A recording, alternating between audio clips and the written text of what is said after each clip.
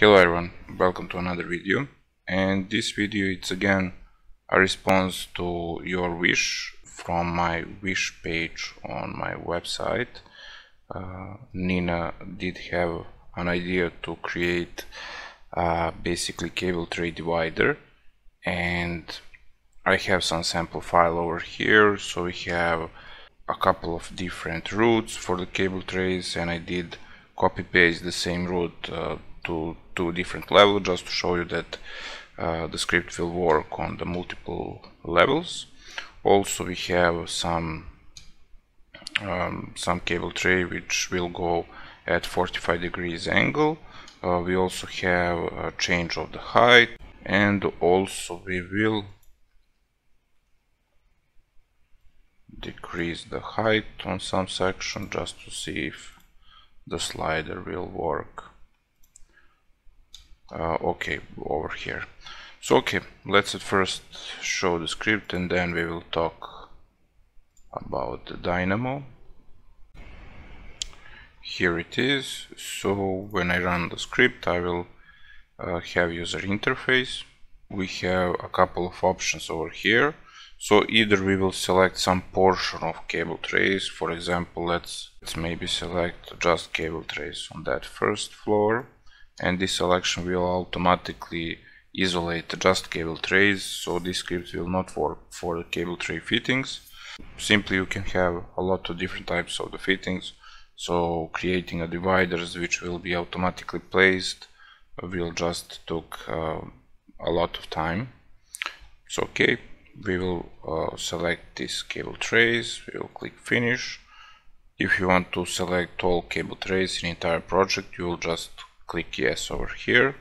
Now uh, you uh, will be also able to choose where do you want to have those dividers. So it can be like 30% of the width.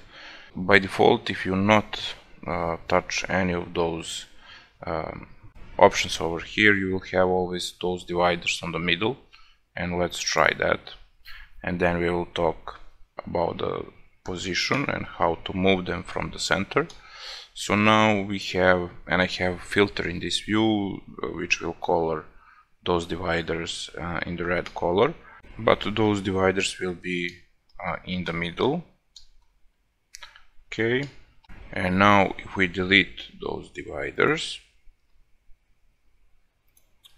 and we run the script again so we will select the second option which need to select all cable trays uh, in entire project uh, now we want to move them uh, for 30% and what that actually mean is if we have some let's say 600 uh, millimeters width of the cable tray basically the dynamo will calculate uh, 600 millimeters for the width over here 30% of the 600 it's uh, 180 so it will move a divider for 180 to one of the sides.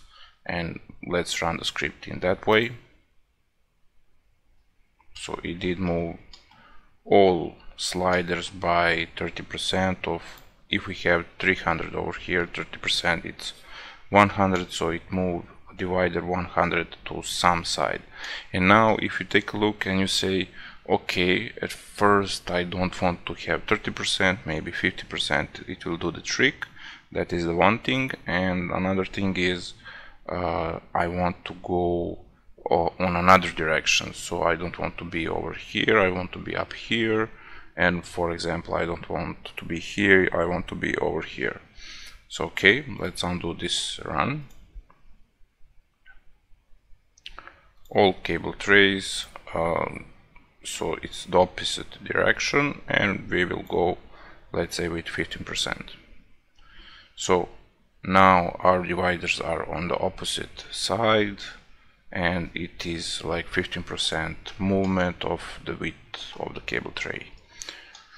And that is basically the script. Now I will show you inside the dynamo um, all the nodes. Uh, I will briefly explain the logic.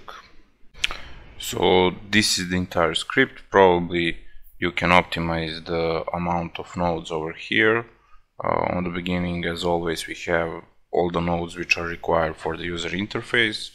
So either we will uh, provide an option to the user to select some portion of the cable trays and we want to filter just cable trays or we want to ask the user if he or she wants to use all cable trays in the project. What is the direction number one? What is the direction number two? Uh, it cannot be presented uh, at first so you will try. If it's okay okay then uh, if it's not okay you will run the script and choose opposite direction.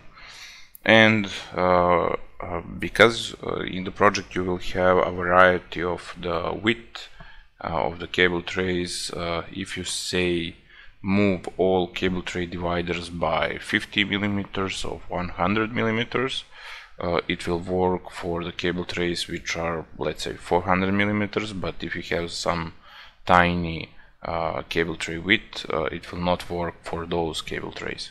So that is why I did go with percentage. Then we will read uh, all uh, all inputs and over here now we need to basically um, see what the user choose. If the user uh, if the user choose some portion of the cable trays we will go with that. If not uh, if the user click on that checkbox for all cable trays then we know that we need to read all elements of category. Also over here so if the user choose uh, direction number one everything is okay. If the user choose uh, direction number two then we need uh, to multiply that distance with a minus uh, vector so we will resolve that over here Now we want to filter out uh, all cable trays which are parallel with the z direction. And now over here actually we need, let's run the script, we need to do a lot of things. So let's go with yes, with, let's go with 25. So over here now we have a list of cable trays and we will filter over here uh, cable trays uh, which are not parallel with that direction and we will have a list of uh, cable trays location and also the list of the cable tray elements. So now at first where we will uh, place our uh, cable trays dividers uh, because we have the family for the cable tray dividers and the location for the cable tray dividers it's a point. From the opposite side we have line for the cable tray. We will basically ask for the middle point of each line and then we will place uh, our uh, cable tray dividers on the middle of each cable tray. That's the one thing.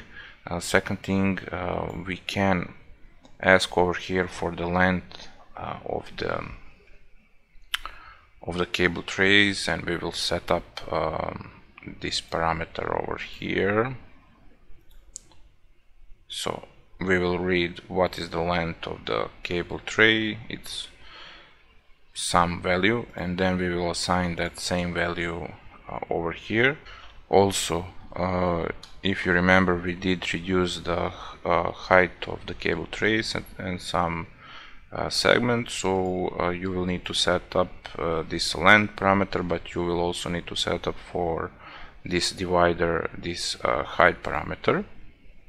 So if cable tray height is 50 then you should have the same value for the cable tray divider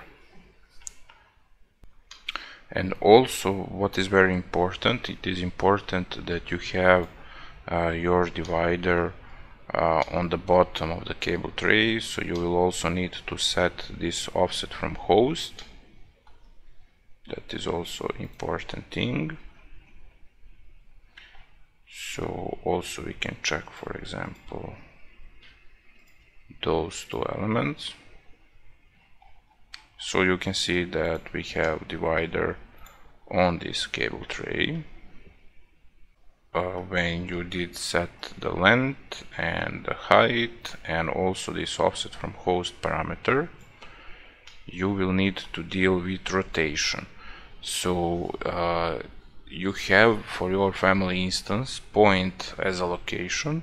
So you will need to ask for your family reference basically in order to see uh, what is the current uh, rotation of your elements. And then uh, if for some reason you have this direction then you know that you will need to rotate this element to be parallel with the cable tray. Also this will be a must for uh, 45 degrees segments or any custom angle which you have so you must deal with the rotation. So over here we will compare uh, directions for our elements and for uh, cable trays and if cable tray and uh, cable tray dividers uh, are not parallel at first because the majority of the elements will need to be rotated only for 90 degrees we will initially rotate everything uh, which are not uh, which doesn't have the same direction as the cable trays for 90 degrees. And then we will compare all other elements which have some custom angle. And then those elements uh, we will rotate by that angle so that is how we did deal with rotation. This part over here and this part over here now it's basically moving the divider. So if we don't want to have divider uh, on the center of the cable tray then uh, we need to uh, say for which percent of the width of the cable tray we want to move uh, this divider. And basically we will use curve offset. So we have curves which curves well those are the lines from the cable trays we will offset them for which distance? For the user uh, specified distance. It is a minus if we want uh, direction number one. Uh, it will be the positive direction if we choose a different direction. For those offsetted uh, lines we need again to have uh, points because we will set uh, the location of the elements with points. Uh, then you have some points uh, for offsetted lines uh, but you don't know now because you did perform twice a rotation uh, which point will correspond to the family instance point. So you need to to see what is the, the closest point to the family instance point and then eventually you will perform set location. And that is like the entire philosophy of uh, this script. Hopefully it will be uh, useful to somebody. Thank you for watching. Bye